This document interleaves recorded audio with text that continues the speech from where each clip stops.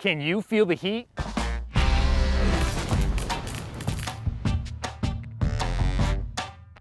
Every summer in the capital region, we always have a few days where temperatures get into the 90s or higher, and we'll take a look at an example of if the air temperature is at 95. It's important to remember that although the air temperature is in the 90s, the surface temperature is most likely going to be warmer. So when we're at 95 in a shady spot, it's actually cooler. Shaded grass, the temperature is around 90 degrees. However, if you go to a sunlit grass spot, that temperature jumps quickly, 10 to 15 degrees. We're already in that 100 degree range for a surface temperature.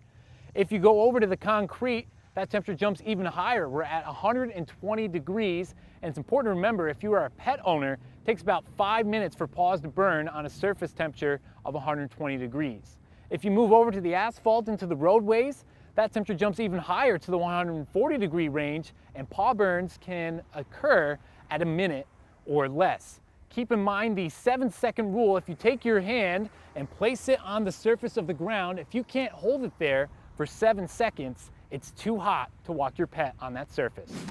Thanks everybody for watching. If you have any questions about what we just talked about or any other weather phenomena in general, feel free to reach out to us on social media uh, or send us an email and who knows, maybe next week we'll be talking about that subject. Thanks everyone.